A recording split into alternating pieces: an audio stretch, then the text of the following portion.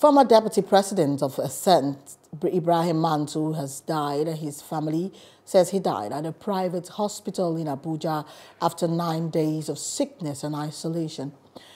The death took place in the early hours of today. Mantu was one of the notable figures in the nation's political landscape for many years. In 2001, he was elected Deputy Senate President under the platform of the People's Democratic Party, a position he held till 2007. Hello, hope you enjoyed the news. Please do subscribe to our YouTube channel and don't forget to hit the notification button so you get notified about fresh news updates.